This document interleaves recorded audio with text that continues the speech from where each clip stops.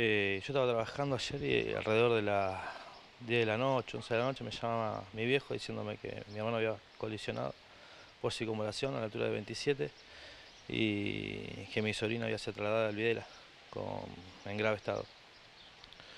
Eh, después, bueno, me acerqué al Videla, entrevista, hablé con mis hermanos y me dijo que le tiraron un adoquín que no llegó a esquivarlo y que lo mordió con una parte de la rueda pero que el mismo el sistema de frenado que tiene el auto eh, hizo que se activaran los airbags y que frenara de, golpe. Eh, la nena estaba atrás y el mismo frenado, el mismo freno brusco hizo que la nena se caiga y golpee la parte de la espalda y la cabeza contra el piso.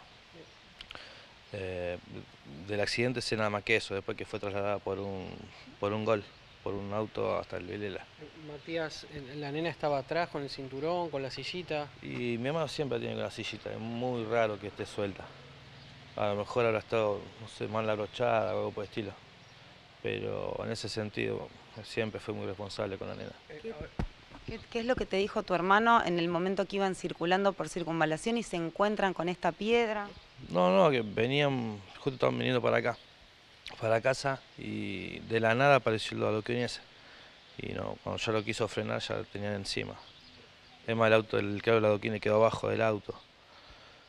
Eh, más que eso, em, obviamente esto consideran ustedes que es, que es un intento de robo, digamos, esta modalidad de dejar un adoquín en el medio de circunvalación. Más lo que 27, Uriburu, eh, Segui, eh, antes de llegar a Pellegrini y toda esa parte no, está, no hay luz ni por simulación ni, abajo de los puentes, o sea que es muy probable que haya sido un intento de robo. Que de hecho, de hecho pasa muy seguido.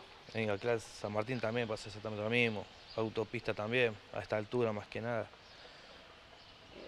Decías que tu hermano te dijo que venía bajo a velocidad, por eso logró o intentó por lo menos frenar.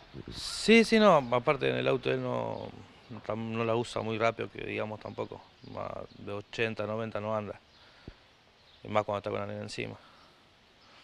Así que no, más que eso no sé. ¿Con quién más venía él en el automóvil? Eh, creo que venía con la novia también.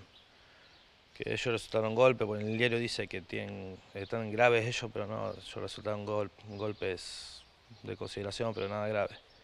O sea, la peor parte la llevó la nena. Matías, tu eh, sobrina eh, falleció durante la madrugada por estos golpes, justamente, un paro cardiorrespiratorio. Se ingresó al Videla con un paro cardiorrespiratorio. Eh, los médicos, la verdad que excelente, hicieron todo lo que pudieron. pero el golpe fue tan, tan fuerte en la parte de la cabeza y la parte de la cervical que no, no se pudo hacer mucho.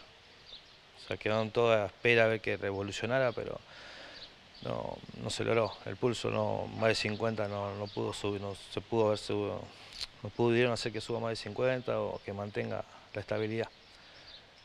Eh, por ahora tengo eso, no, más que eso no sé.